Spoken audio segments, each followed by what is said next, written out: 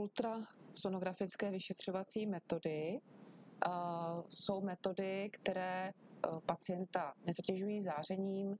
Je to nepřímá vyšetřovací metoda, která používá vlastně ultrazvukovou sondu, která vysílá krátké impulzy, ty mají nějaké zvukové vlnění a, a vlastně odrážejí se od, od orgánů, dopadají zpět do té ultrazvukové sondy a přenáší se do, do přístroje. Myslím si, že eh, nějaké další technické podrobnosti asi není důležité, eh, důležité uvádět. Každopádně, co je důležité, tak ultrazvuky nám dokážou podat informace o zobrazovaných orgánech, o těch tkáních, na které se díváme ultrazvukem, o cévách, řeknou nám o jejich tvaru, uložení, o velikosti, o ohraničení, říkají informace o parenchymových orgánech, které rengenologicky nelze, nelze zobrazit. Říkají nám tedy také o měkkých tkáních a toto všechno jsou um, vlastně tkáně tělní, které můžeme uh, ultrasonograficky, nebo tedy ultrazvukem sledovat. Určitě srdce a cévy, vlastně orgány dutiny břišní a malé pánve můžeme uh, ultrasonograficky vyšetřovat klouby, svaly, šlachy, mléčnou žlázu, štítnou žlázu. Ultrazvuk se využívá v graviditě pro vlastně sledování vlastně vývoje plodu. U malých dětí e, přes velkou fontanelu se ultrasonograficky dá vyšetřovat mozek a v případě e, ten ultrazvuk se dá kombinovat s některými invazivními zákroky, Například pokud chceme provést biopsii, ku příkladu biopsie štítné žlázy, mm, tím ultrazvukem ten lékař si vlastně ozřejmí místo, z kterého chce odebrat eh, vzorek na vyšetření a teprve pod ultrazvukovou kontrolou do toho vzorku jako píchne a no, do toho místa píchne a odebere, odebere vzorek eh, k vyšetření.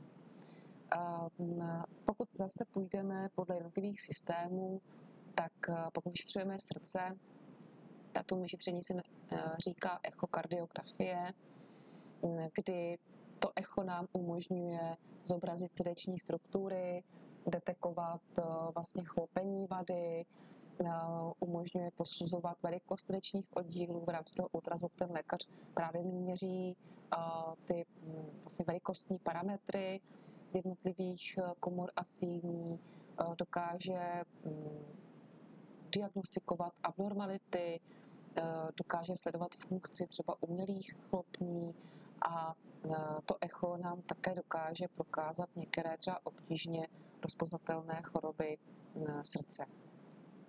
My to echo, tedy ultrazvuk srdce, můžeme provádět buď transtorakálně, tedy přes hrudník, anebo transezofagálně, kdy se zavádí vlastně ultrazvuková sonda do jícnu a to srdíčko se vlastně snímá, jako kdyby z té zadní, zadní části vlastně přes tu stěnu, stěnu jícnu.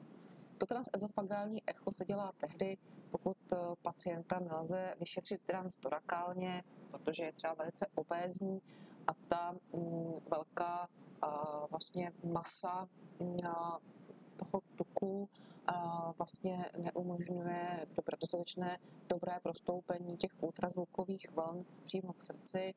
Dále potom pro přesnější zhodnocení nálezu a závažnosti postižení, případné přesnější určení prozedené srdeční vady, případně zhodnocení komplikací, určení zdroje embolizace a při disekcích aorty anebo při nějakých nejasných srdečních útvarech, které nemusí právě z toho transtorakálního přístupu být dobře viditelné.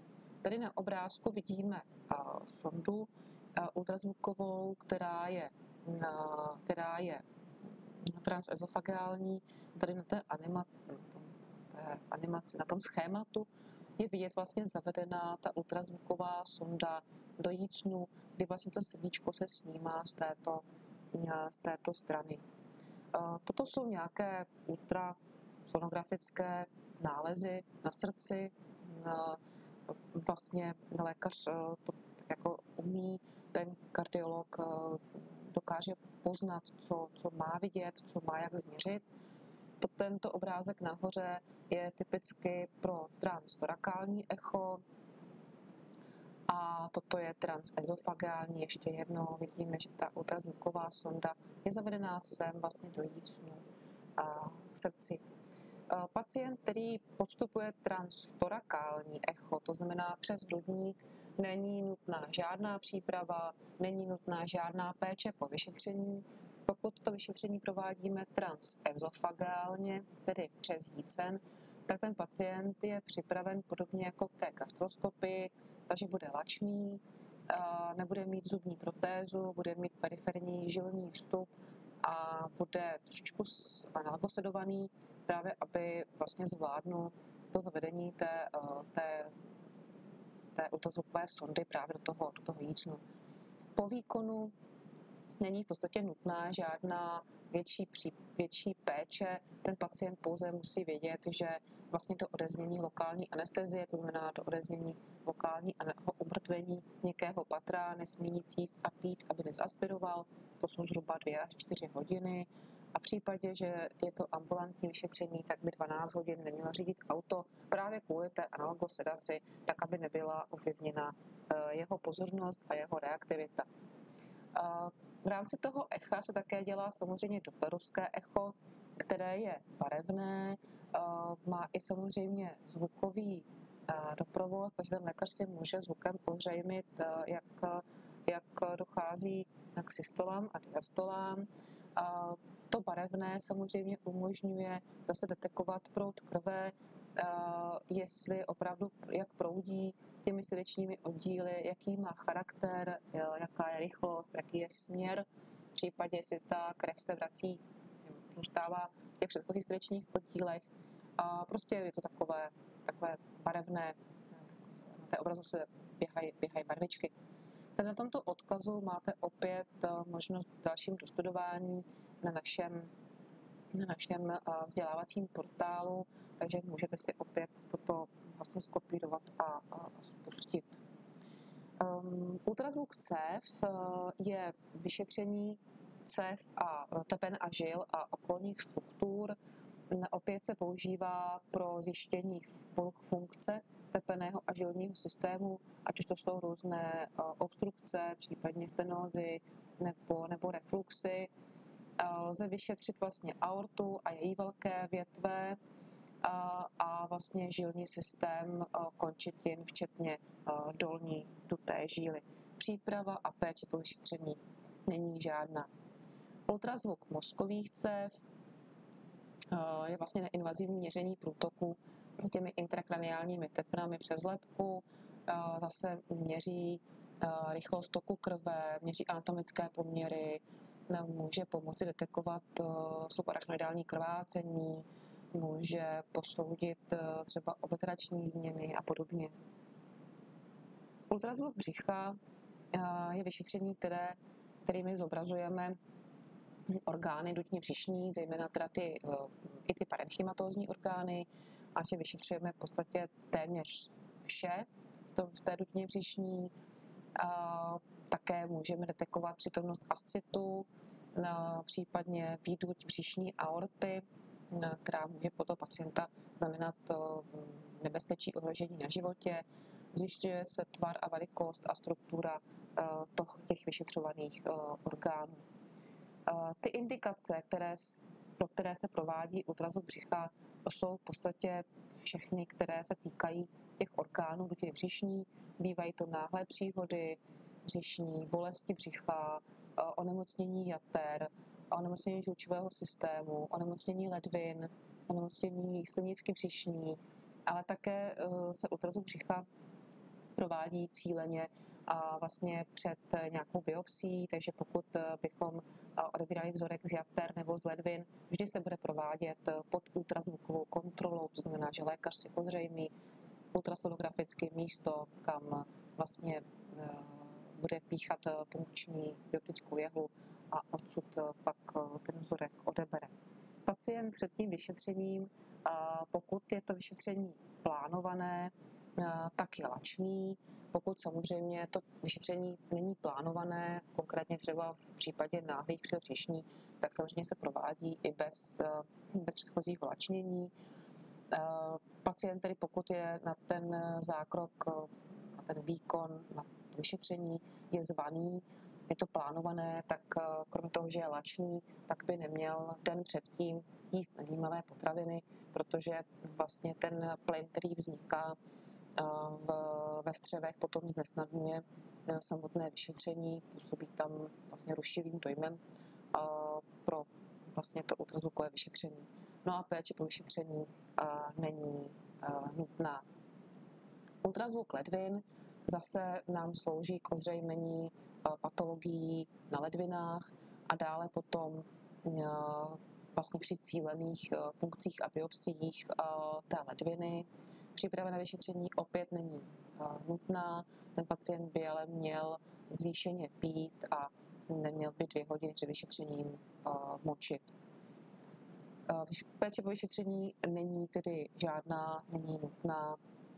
Vyšetření močového měchýře, podobně jako vyšetření ledvin, nám eh, dokáže určit eh, vlastně rozsah patologických nějakých procesů, ať už to jsou třeba přítomnosti krevních sraženin, ať už to je přítomnost konkrementů některých, které eh, jsou viditelné ultrazvukem, ať nám to odřejmí třeba patologické, ať už benigní nebo naopak maligní změny v močové měchýři. Příprava opět není nutná, ale pacient by měl zvýšeně pít a neměl by před vyšetřením močit. Je to proto, aby ten močí měchýř byl dobře viditelný vlastně za symfízou, aby, eh, aby se neskryl, eh, aby byl prostě vyšetřitelný. Péče po vyšetření eh, opět není nutná žádná. Ultrazvuk prostaty je také vyšetření, které umožňuje prostatu vyšetřit, jednak její velikost, ale také umožňuje vyšetřit samozřejmě patologie, které na té prostatě se mohou vyskytovat, to jsou tady zejména zá, eh, eh, nádory. Eh, té prostatě vyšetření se provádí jednak transabdominálně, ale také transrektálně, což je diagnosticky daleko výhodnější, protože nám vlastně to transrektální suno je zase blíže té prostatě než to transabdominální a zároveň pod uh, tou ultrazvukovou kontrolou, tou transrektální, se provádí cílená biopsie prostaty uh, právě k vyšetření a při podezření na nějakou, nějaký patologický proces. Příprava u toho transrektálního vyšetření prostaty je potřeba uh, je, je, je jistě potřeba, je potřeba, aby byl pacient vyprázdněný a to buď laxantivy nebo klizmatem a je důležité provést eh, hygienu genitálu. Po tom vyšetření není opět nutná žádná péče, maximálně sledovat eh, přítomnost eh, krve, případné krve ve stolici. Nic jiného není nutné. Ultrazvuk štítné žlázy zase umožňuje posoudit vlastně velikost té štítné žlázy, tvar, umožňuje posoudit případné nějaké patologické, patologické útvary, jako jsou třeba nádory nebo cysty. A příprava není nutná a péče po vyšetření není nutná. Pod ultrazvukem štítné žlázy se pak také může provádět biopsie, tedy odběr, odběr tkáně na vyšetření z toho nějakého podezřelého chorobného procesu. Ultrazvuk mléčné žlázy se provádí jako doplněk mamografie, provádí se všude tam, kde ty ženy nejsou indikované k mamografii. To znamená uh, u mladých žen, uh, u uh, vlastně tam, kde ta žena třeba si nahmatá nějaký útvar a nemá ani třeba rodinnou zátěž, tak samozřejmě nejdřív se provádí, provádí ultrazvuk. A dále potom ten ultrazvuk mléčné žlázy se provádí vlastně při biopsii tkáně z toho nějakého podezřelého útvaru. Indikací tedy je matná léze nebo ženy, které nespadají do toho mamografického screeningu. Dále potom ženy, které kojí a jsou těhotné.